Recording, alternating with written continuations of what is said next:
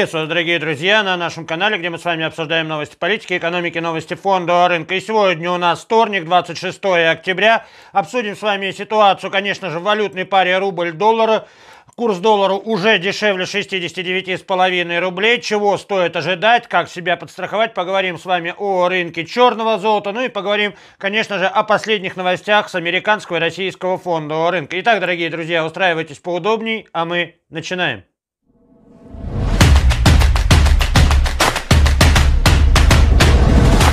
Дорогие друзья, по традиции все наши видеообзоры мы с вами начинаем с ситуации на фондовых рынках. И ситуация складывается в очередной день подряд позитивно. Мы с вами это видим с самого утра, начиная с Азиатско-Тихоокеанского региона. В основном мы там видим именно зеленые индексы. Ну, Поднебесная она стоит э, обособленно.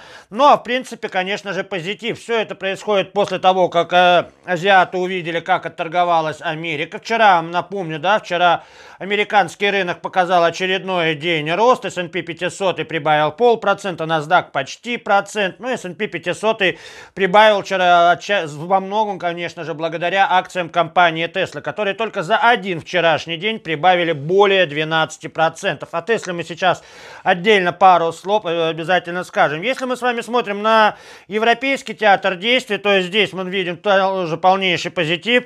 Европейские рынки реагируют тоже позитивно, смотря на то, как торгуется главный рынок э, всего мира, это Соединенные Штаты Америки. Немцы 1%, британцы полпроцента, но у нас оба российских рынка торгуются, можно сказать, разнонаправленной динамики. Индекс РТС прибавляет полпроцента, индекс московской биржи и вовсе стоит возле нулевых значений. И здесь вина не в том, что наши компании не растут, акции наших компаний не растут, а в том, что наша национальная валюта продолжает резкое свое укрепление, а растут у нас сейчас как раз-таки компании-экспортеры, да, растет именно нефтегазовый сектор, мы с вами это можем видеть по компаниям таким, как «Газпром», «Лукойл», «Роснефть», «Новотек», тот же самый «Русал», да, мы, к примеру, можем взять. Но все это, то, что я перечислил, это является являются компании-экспортеры. И, конечно же, при укреплении нашей с вами национальной валюты они теряют просто-напросто свою же прибыль. Поэтому говорить о том, что Эльвира Сахибзадовна в пятницу сделала правильное решение поднять ставку сразу же на 75 базисных пунктов, но я думаю, что ни у кого сейчас язык не повернется это сказать. Что она думает, о чем она думает, я думаю, сниму отдельный выпуск. Но многие стали писать как раз-таки гневные комментарии. Владимир Владимир, вот вы, мы увидели, что резкое укрепление рубля, и вы перестали выпускать свои видеообзоры. Я перестал выпускать свои видеообзоры по другой причине. Я в пятницу как раз-таки делал себе вакцину, и довольно-таки тяжело перенес эту первую вакцинацию. Через меньше, чем уже три недели ждет вторая вакцинация. Ну, надеюсь, что она уже будет проходить более и более успешно. Конечно же, когда мы с вами увидели, что произошло такое резкое укрепление ставки, да, повышение, такое резкое повышение ставки, то у рубля не осталось ни малейших шансов, как идти, конечно же, и пробивать важнейшие уровни, да, и пробивать уровень и 70. И при, таких, э, при такой политике, которую сейчас объявляет Центральный банк России, а Эльвира Сахибзадовна э, сказала следующее, что и на следующем заседании, скорее всего, э, будет вынуждены тоже начать поднимать ставку, и таким образом конец года 2021 мы можем встретить со ставкой более более чем 8%. Ну и этим как раз-таки и объясняется то, что рынок облигаций, индекс RGBI как раз-таки тоже сейчас камнем вниз летит, потому что игроки прекрасно понимают, что те облигации, которые, те выпуски облигаций, которые они брали хотя бы еще полгода назад, но они сейчас просто-напросто нерентабельные, они приносят да, купонную доходность 5%, когда новые выпуски как минимум будут приносить на 2,5% больше. Конечно же, облигации эти распродаются, и игроки просто-напросто сейчас в ожидании новых выпусков облигаций. Но здесь, к слову, стоит заметить, что пока что те же самые игроки, они не торопятся и выходить из нашего российского рубля, то есть они продолжают пока что находиться на нашем фондовом рынке, потому что ситуация в нефтегазовой отрасли продолжает, э, ну, продолжает находиться довольно-таки накаленной. Мы с вами видим, что цены на газ более или менее устаканились в районе 1000 долларов, но спускаться обратно вниз они не спешат. И одновременно с этим уровень цен на газ, конечно же, привлекает внимание игроков и на рынок черного золота, потому что многие стали отказываться от голубого топлива и стали смотреть как раз-таки ну, в поле, чё, ну, смотрят на нефть и более дешевле сейчас покупать именно нефть, чем, конечно же, закупаться тем же самым э, газом. Конечно же, эта ситуация одновременно оказывает влияние на рынок черного золота и говорить о том, что нефть по 100 долларов это уже какая-то фантастика, ну, на данный момент уже, конечно же, не приходится. И говорить о том, что будет, как скоро будет э, нефть по 100 долларов, ну, скорее всего,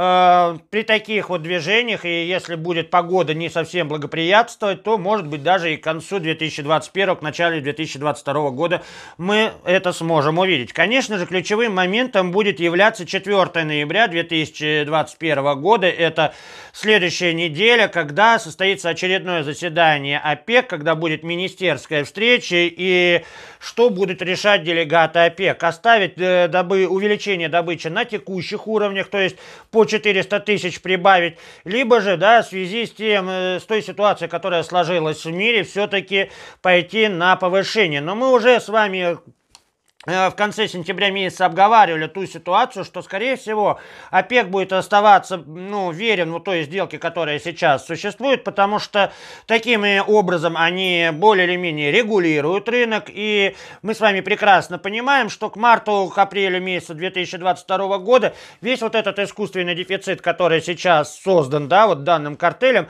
он будет просто-напросто нивелирован. А те же самые страны ОПЕК, те же самые Саудовская Аравия, Арабская Арабские Эмираты, они сейчас пытаются, да, благодаря вот этим высоким ценам на нефть, компенсировать все те убытки, которые у них были в 2020 году. И здесь как раз-таки выступал вице-премьер Российской Федерации Новак и говорит, что, скорее всего, ОПЕК будет придерживаться именно этой сделки. Но не доверять Новаку, я думаю, что ни у кого из нас э, поводов нету. И мы с вами знаем, что обычно то, что говорит наш вице-премьер, обычно так и происходит. Ведь именно благодаря э, нашему российскому вице-премьеру Новуку, который курирует как раз-таки энергетическую отрасль, сумели договориться и летом этого года, когда Арабские Эмираты вставали на ДБ, ну и вообще, конечно же, стараниями именно Александра Новака была подписана вообще вот вся эта сделка ОПЕК, когда Э, в 2020 году э, рынок черного золота жутко лихорадил, и американские сорта нефти, конечно же, уходили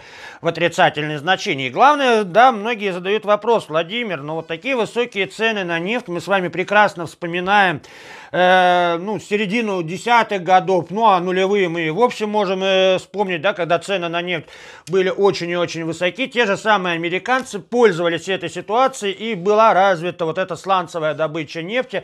Она не требует, на самом деле, особо сильных затрат. Почему сейчас те же самые американцы не могут прийти на выручку и хоть как-то, да, нивелировать вот этот дефицит э, нефти на рынке? Да, ответ довольно-таки прост. Если бы сейчас у руля Белого дома Соединенных Штатов Америки стоял Дональд Трамп, точно именно вот так это все и происходило. Но, к сожалению или к счастью, кто как смотрит на у кого какие политические взгляды, э, президентом США сейчас является Джо Байден, и вот они как раз-таки со своей адми... он со своей администрацией не сторонник, да, нефтяной отрасли, это раз, он сторонник именно альтернативных источников энергии, он за зеленую энергетику, ну а сланцевая добыча, она не самая э, экологически чистые. И, конечно же, раз власть ведет такую политику, то те же самые банки не особо охотно инвестируют в эту отрасль. Именно поэтому сланцевая добыча Соединенных Штатов Америки сейчас испытывает довольно-таки серьезное напряжение. И говоря про того же самого американского президента, сейчас дополнительную, ну, удар по медведям на рынке черного золота нанес именно Джо Байден, потому что с ноября месяца Соединенные Штаты Америки открывают свои границы для людей, которые вакцинировались, и в тех странах, где более 60% уже вакцинировано. Таким образом, что это оказывает? Какое давление оказывает на медведей по э, рынку нефти? То, что будет, конечно же, повышенный спрос на авиакеросин, ну а, соответственно, нефти потребуется еще больше. Конечно же, очень интересно будет наблюдать наблюдать за событиями 4 ноября. К слову сказать, это выходной день в России. Э, фондовый рынок в России работать не будет. И, конечно же, мы будем уходить на, выход... на очень длинные выходные с немного таким опасением. Но вернемся все-таки к валютной паре рубль-доллар. Все-таки хочется здесь пару слов сказать. Может чем-то успокоить, может чем-то огорчить. Дорогие друзья, конечно же, фондовый рынок есть фондовый рынок. Да, мой прогноз не сбылся. Да, я ставил на то, что рубль будет ослабляться именно осенью 2021 года.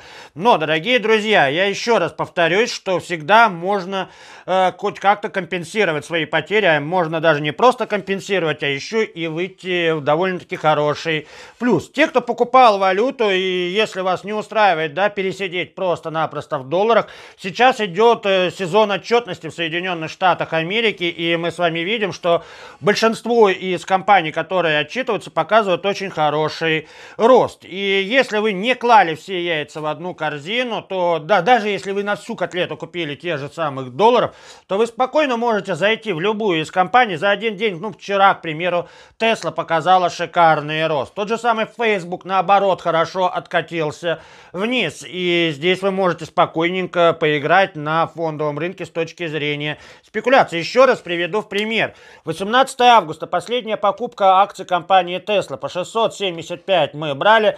Она в моменте достигала значения 1050. То есть, сами понимаете, что весь убыток, который принес э, именно ситуация в валютной паре рубль-доллар, он полностью был компенсирован. Просто вот по самая мама не балуйся. Тот же самый Facebook, да, заходили по 337, открывали шортовые позиции, спокойненько можно компенсироваться. Ну и, к слову сказать, с ребятами из закрытого чата только одна неудачная сделка по отчетам, это компания Snap, и здесь виной во всем, конечно же, а, ну, компания Apple, которая сейчас э, руководствуется своей безопасностью, она отчасти блокирует социальным сетям э, доходы по рекламе. И поэтому сегодня можно ожидать довольно-таки негативных э, решений и по тому же самому Твиттеру. Я думаю, что можно тоже будет заходить э, пошортить данную компанию, потому что все социальные сети понесли сейчас довольно-таки серьезные убытки именно из-за политики безопасности крупнейшего гиганта компании Apple, которая, да, вот этот интеллектуальный разум, когда мы в том же самом Инстаграме, Фейсбуке тематическую рекламу получали, то сейчас Apple просто-напросто это блокирует. Ну, посмотрим, как разберутся с этой ситуацией. Но в любом случае, из любой безвыходной ситуации есть выход. И даже если предположить, да, вот посмотрим, если вы брали тот же самый доллар по 73, ну, 73 с половиной я максимально, да, говорил, где можно брать от этих значений. Сейчас мы видим, что с вами доллар, э, пара рубль-доллар стоит 69,5. То есть в потере вы имеете 4 рубля, ну чуть больше, грубо говоря, ну 5%, да, вы могли потерять, ну 5-6%. Это не такие большие потери, которые очень и очень легко компенсируются. Сейчас необходимо внимательно отслеживать уровень 68 рублей 20 копеек. Это минимум тех, э, того 2020 года, куда мы приходили. Здесь очень сильная линия поддержки. Сумеем ли мы пробить ее? Говорить однозначно однозначно, что нет, нельзя. Говорить однозначно, что да, тоже нельзя. Конечно же, на все будем смотреть, на как будет вести себя Федеральная резервная система, потому что следующая неделя у нас очень и очень богата на события. 2 и 3 ноября это состоится, конечно же, заседание Федеральной резервной системы, где Джером Пауэлл нам объявит да, о том, что необходимо резко сворачивать свою программу количественного смягчения, потому что инфляция в Соединенных Штатах Америки, инфляционные ожидания продолжают расти, и если сейчас Джером Пауэлл не сделает это этот шаг, то мы получим с вами резкий рост инфляции в Америке уже к концу 2021 года. Но а в 2022 году она просто-напросто может выйти из-под контроля. Ну и не забываем, да, что Джерому Пауэллу необходимо сейчас делать именно правильные решения, потому что точно так же на прошлой неделе был очень неприятный случай, когда того же самого Джерома Пауэлла обвинили в инсайдерских сделках на фондовом рынке. Поэтому сейчас он не имеет фактически права на ошибку. Но здесь самое главное иметь понимание, какими темпами Федеральная резервная система будет сворачивать свою программу количественного смягчения. Если же как раз таки будет, как мы говорили ранее, там по 15 миллиардов в месяц и к середине 2022 года э, они закончат, да, выкуп, прекратят выкуп вот этих э, активов, то это один момент. Но если Джером Пауэлл скажет, что инфляция продолжает резко набирать обороты, что цены продолжают резко расти и необходимо более по-быстрому здесь справляться, может быть, будет объявлено по 30 миллиардов. Конечно же, это в свою очередь укрепит на американскую национальную валюту ко всем остальным валютам мира. В валютную пару рубль-доллар это немножко другая история. Все-таки как-никак мы смотрим с вами и на нефтегаз, ну и то, что творит Эльвира Сахибзадовна, это просто-напросто убийство, еще раз повторюсь, российской экономики. Я думаю, что сделаю отдельный выпуск по Почему я считаю, что Эльвира Сахибзадовна допустила громаднейшую ошибку в пятницу, подняв ставку на 7,5, на 75 базисных пунктов и анонсировала дальнейшее повышение, я думаю, сделаю отдельный просто-напросто видеообзор. Сегодня видеообзор я завершаю. Если он вам понравился, поставьте лайк. Если не понравился, тоже такое может быть, поставьте дизлайк, потому что несколько выпусков мы с вами пропустили, и события были довольно-таки интересные, да, мы пропустили с вами пятничный выпуск, когда было решение поставки. Мы пропустили с вами вчерашний день, когда было, да, вот объявлено по Тесле. Почему я считаю, что все-таки это именно хайповое движение и рассчитывать, что компания Hertz, вот, которая занимается прокатом автомобилей, все-таки выкупит 100 тысяч авто у компании Tesla, ну, меня вызывает довольно-таки серьезное опасение. Компания, которая накануне еще считалась банкротом. Ну, здесь двоякое такое мнение, но, по крайней мере, цели, которые были поставлены по компании Tesla, они выполнены, а каким образом, почему это было выполнено, это уже вопрос десятый. Не забываем подписываться на наши социальные сети, ТикТок, ВКонтакте, Инстаграм, Яндекс.Зен, ну и, конечно же, открытый Телеграм канал. Я же с вами на этом сегодня прощаюсь, увидимся с вами завтра. Пока-пока.